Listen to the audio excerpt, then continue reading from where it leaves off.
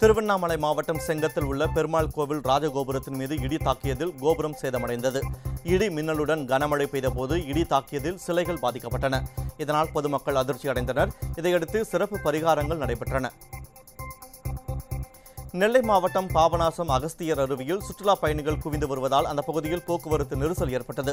அகஸ்தியர் அருவியில் ஆண்டு முழுவதும் தண்ணீர் விழுந்து கொண்டே இருக்கும்.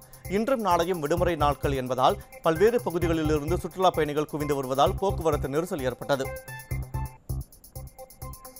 தருமபுரி மாவட்டம் பஞ்சப்பள்ளி அரசு மேல்நிலைப் பள்ளியில் இருபத்தைந்து லட்சத்து இருபத்தெட்டாயிரம் ரூபாய் மதிப்பில் இருநூற்று ஆறு மாணவ மாணவிகளுக்கு விலையில்லா மடிக்கணினிகளை உயர்கல்வித்துறை அமைச்சர் கே பி அன்பழகன் வழங்கினார். தமிழகத்தில் உயர்கல்வி பயில்வோர் நாற்பத்தெட்டு புள்ளி ஆறு சதவிகிதமாக உள்ளனர் என்றும் வேறு எந்த மாநிலத்திலும் செயல்படுத்தாத சிறப்பு திட்டங்களை பள்ளிக் கல்வி மற்றும் உயர்கல்வித்துறையில் தமிழக அரசு செயல்படுத்தி வருவதால் இந்த சதவிகிதம் உயர்ந்துள்ளது என்றும் அமைச்சர் அன்பழகன் கூறினார். தமிழக அரசு சார்பில் உழைக்கும் மகளிருக்கு மானிய விலையில் இருசக்கர வாகனங்கள் வழங்கும் நிகழ்ச்சி திருப்பூர் மாவட்டம் குமாரநந்தபுரத்தில் நடைபெற்றது. இதில் திருப்பூர் சட்டமன்ற உறுப்பினர் விஜயகுமார் கலந்து கொண்டு நூற்று எழுபத்து மூன்று பயனாளிகளுக்கு நாற்பத்தோரு லட்சம் ரூபாய் மதிப்பிலான காசோலைகளை வழங்கினார். நிகழ்ச்சியில் அதிமுக தொண்டர்கள் நிர்வாகிகள் கலந்து கொண்டனர்.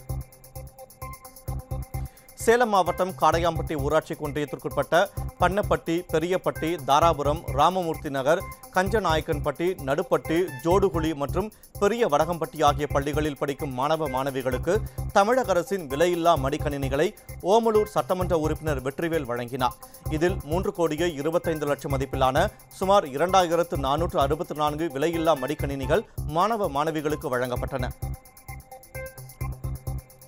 விருத்தாச்சலம் அருகே முந்திரித்தோப்பில் பாதி எரிந்த நிலையில் கிடந்த பெண்ணின் உடலை காவல்துறையினர் கைப்பற்றினர். இருப்பு கிராமத்தில் உள்ள முந்திரித்தோப்பில் அடையாளம் தெரியாத பெண்ணின் உடல் எரிந்து கிடப்பதாக பொதுமக்கள் தெரிவித்தனர்.